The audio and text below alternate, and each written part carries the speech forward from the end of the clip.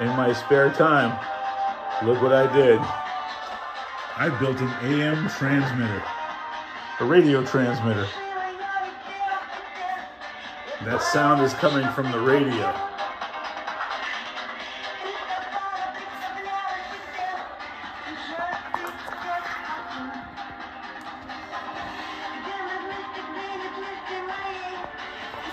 That's called AM radio transmission.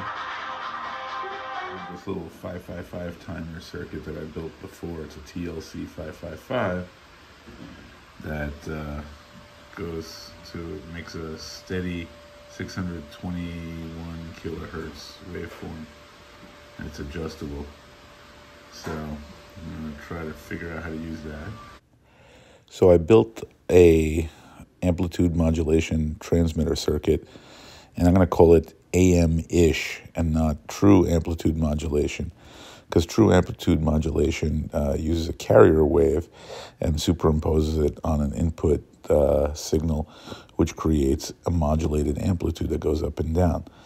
So using a 555 timer, um, configured in a standard way, uh, I, as an astable multivibrator, I used uh, two 220 ohm uh, resistors and and one nanofarad capacitor to generate a carrier frequency, which was a square wave of um, 650-ish kilohertz. And uh, basically, by putting the audio signal through a capacitor on the input uh, of the control voltage pin, which is pin 5, you can get a sort of AM transmitter that works the output, which is coming from pin 3, is basically going through a uh, low pass filter through this 4.7 kilo ohm resistor and a small capacitor and going out to the ant- antenna, which has to be about you know a meter long in order to transmit. And it actually transmits pretty well. The low pass filter converts it to a triangle wave. The triangle wave modulates better than a square wave in this case, and it doesn't require a sine wave to do this. So this is a basic triangle wave that I'm putting out after taking a um, wave from the 555 timer and putting it through this basically a resistor and capacitor. This would be going out to the um, uh, antenna. So this is the carrier wave signal.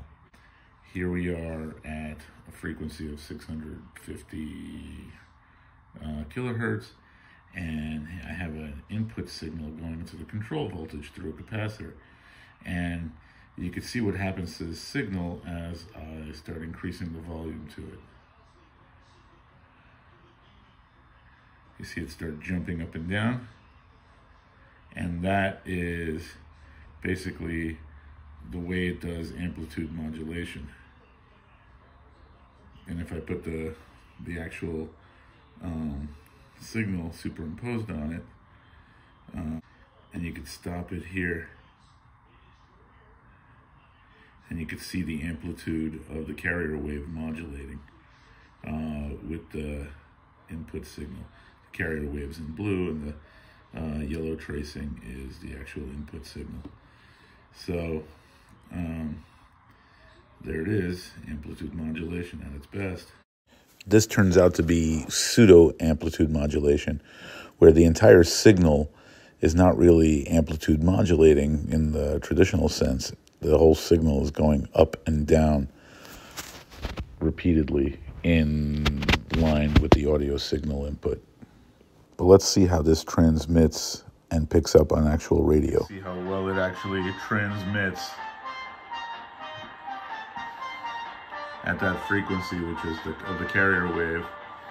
And here's the radio receiving it. Frequency of 652 and frequency of 652. And uh, that works pretty well and all that from this little 555 timer circuit. with the input uh, voltage going to the control voltage through this little capacitor. It's a 4.7 uh, nanofarad capacitor. So, like I mentioned before, this is a pseudo AM transmitter and doesn't really transmit amplitude modulation signals in the traditional sense. However, it has its advantages. It requires minimal components, a single chip, some other components, and it transmits and sounds pretty good with a decent range. In my next video, I'm going to make a real AM transmitter uh, using a sine wave carrier signal and uh, true AM modulation. So stay tuned and thanks for watching.